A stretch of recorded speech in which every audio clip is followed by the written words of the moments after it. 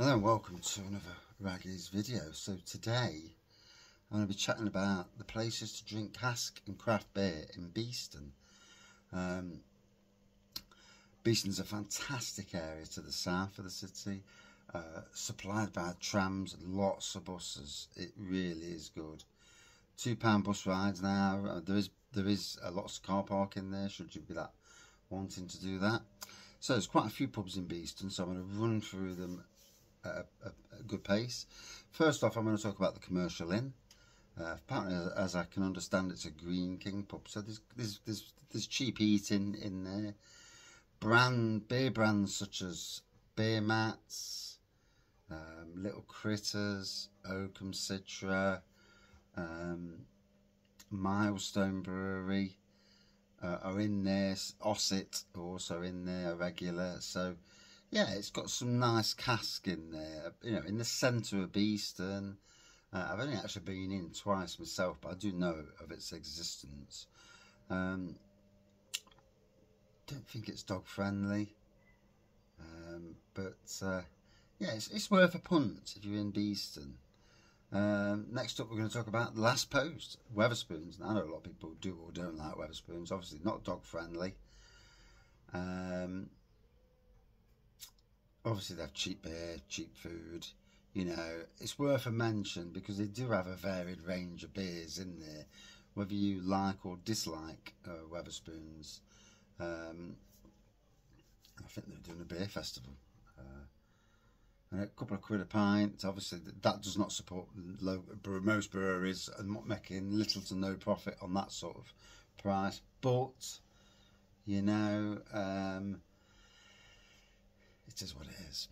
Um, so yeah, I haven't been in Last Post for a long while either. I, I know it's there. It is a pub to go to. However, pubs with bouncers don't in interest me. So the first two pubs I'll get out of the way because they're what they're ones that uh, I'm sure commercial inns had bouncers on uh, when I've walked past before. So they're they're the two pubs that we'll talk about first. Get out of the way. So now we're moving on to the more real ale fan pubs. So you've got the Malt Shovel, um, which has been took over by Shipstone's. So it's now a, Shipstone's brewery tap bar um, with I think it was four or five lines of their own cask, and and I think there's one one of their craft beers on. Um, that was when I last went in. I've not been in for wow, six or seven months. Um, you know, there's only so much drinking you can do at any one time. But uh, yeah, the beer was decent there. Good to see them have their beers on. Be interesting to see if they bring back more of the back catalogue of what the old Shipstone's brewery had. And uh, yeah, collaborations as well would be interesting. But it's definitely worth a try, going in there and having, having a drink.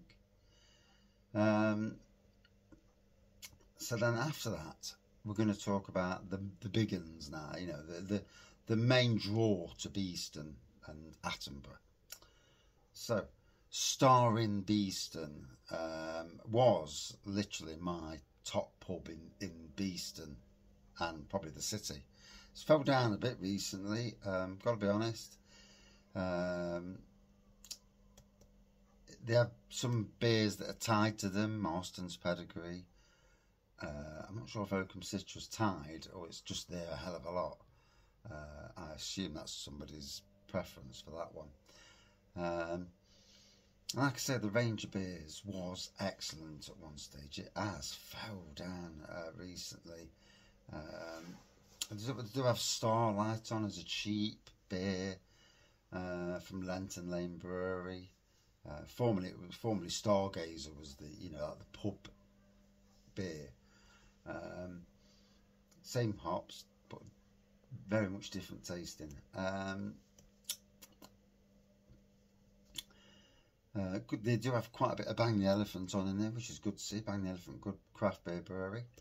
Uh, Alter Egos are on in the pub, and uh, a lot of Lenton Lane. And uh, yeah, if I was looking at their cask range, I would say that it needs a bit of refreshing. Looking a bit further afield at breweries you don't normally see. But I'd say that to every pub as well. You know, don't be reliant on um, just a few breweries. But nonetheless, still a good place to go and get nice food as well. There, uh, big garden at the back, plenty of seating inside, lots of couple of quirky little rooms inside, and uh, yeah, it's a nice pub to go to. Um, next up, the Pottle Micro Pub. Now here's a place. Woof! You walk in, it's one one seating area, uh, lots of tables and chairs around. Um, many craft beer fridges, uh, two downstairs, and I think two or three upstairs as well. Lots and lots of different beers. If you got yourself find yourself a craft beer, um, yeah, the the range in Beeston for craft beer uh, by some distance as well. Um, five or six lines of cask, as far as I remember. Uh, two lines of keg, ever changing setup in there, you know. Um, on keg, you can order thirds, halves, and pints. Although you won't want a pint of bloody impy stout. Um, but uh, up, to each, up to each other's, yeah. Uh, and then on, on the cast side of things, you can order halves and pints. Uh, bloke who runs it, top bloke. Um, it's a lovely place. It's a must must visit location. Yeah, uh, in the Beeston area of Nottingham. Um, next up, I'm going to talk about uh, the Totally Tapped micro pub. So they moved literally a year or so ago um, over the road to slightly bigger premises, not massively bigger, but slightly bigger. Um, and again, many lines of cask. Cask you don't see in the pottle and you don't see in the star. So this is the thing, if, if you're running a pub or micro pub, you don't want the same beer as everybody else has got, or what's the point? You know. Um, yeah, like I say, so about four or five cast lines, about 10 or 12 keg lines, two craft beer fridges. Uh, the people in there are fantastic anyway. Um, uh, little outdoor seating area for the spring and summer months when it's a bit warmer. Not this time of year, it's pointless. It's freezing. Uh, but again, a must visit location when you come to Beeston. Must visit. Next, I'm going to talk about the White Lion and Blackshale Bar and Kitchen. Um, the white it's it's basically one pub that they've split into two. Um, one for cask on one side, and one a bit more crafty on the other side. Uh, the cask side has predominantly the four core beers from Lincoln Green. Uh, I've been in before. They've had Titanic Plum Porter on. They've had Landlord on. Proper Job from St Austell. Um, and obviously their own seasonal stuff. And that's on the cask side. Keg side, yeah, um, not as not as crafty as, as, as I probably would have liked it to be. There is one or two um, you Lincoln Green craft beers on in there. Whether they're gonna, I know they're doing some small batch stuff now, so whether some of that will get into keg will be interesting. I personally think that it needs to happen, but uh, obviously I don't own the companies or breweries and pubs, and uh, it's only my point of view. But yeah, I, would love to see some guest keg in there, and maybe from further afield that nobody else is stocking. Uh, I could I could chuck some brands at them, and uh, you know much further afield than than what anybody else is doing. Uh, nonetheless, yeah, the cask side of things and the keg, it's a good pub to visit. Some nice food in there as well. Um, you know, it's probably the most upmarket of the the pubs in Beeston for food. Yeah, decent food. Um, and it's got a lovely big seating area outside. The the the White Lion side of things, the pub, is probably a little bit small to be fair. But uh, you know, you can't win them all, can you? But trying to balance things and all that. Uh, but you can still fit a good amount of people in there, so it is what it is. And uh, I mean, we did get our beers in the cask side, and go into the craft beer side and sit down because it was a lot quiet. It was a bit quieter in there. Uh, but obviously, if there's lots of people eating, you might struggle, especially on a day like today when it's Mother's Day. So then we're going to talk about, um, and I nearly forgot again, the Victoria Hotel Beeston. So next to the tram, the train line, I forgot about it. You can get trains to Beeston as well from all over. This is next to the train line. Went in yesterday. Uh, massive food offering in there. Good quality food as well. Banging food. Uh, you know, a good price as well. Uh, on cask, they've got I it's about ten or eleven lines of cask. Couple of keg. Keg don't. Yeah, I look at the keg and think. No. But the cask lines yesterday, yeah, Black Sheep, Castle Rock, Charnwood, Salopian, Heritage Brewing Company. And what I like about the uh, Vic Hotel now, which is now going to be becoming one of my more regular pubs, um, is the fact that it is changing, is the fact that you can get thirds on cask. That to me is brilliant because as somebody who likes to try different beers, and you know sometimes do that these random bloody reviews that I do, it's nice it, it tells people what it's tasting like on the day. It's good for the brewers as well because they can look at the beer and think, yeah, yeah, that's that's looking on on, on form, on you know. Um,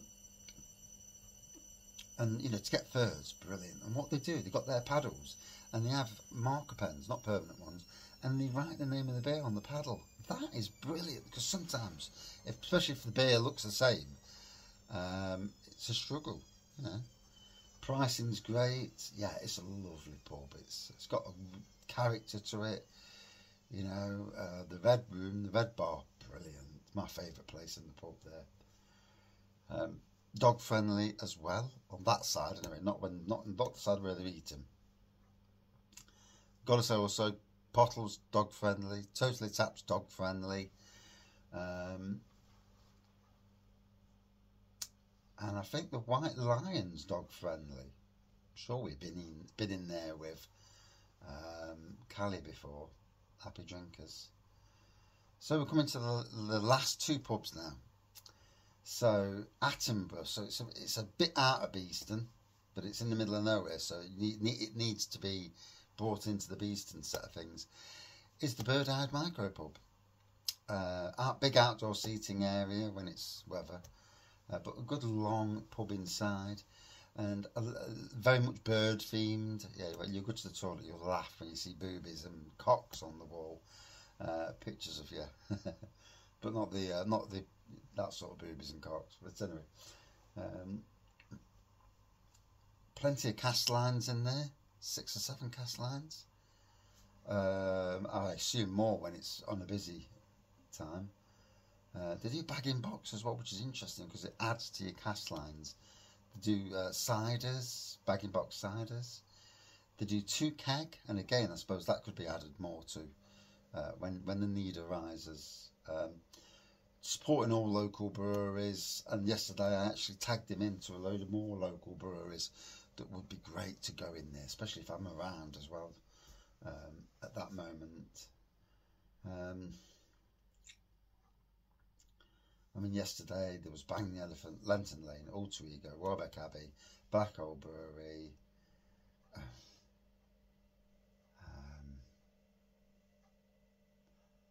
that's something as I can remember But a great place, great hosts.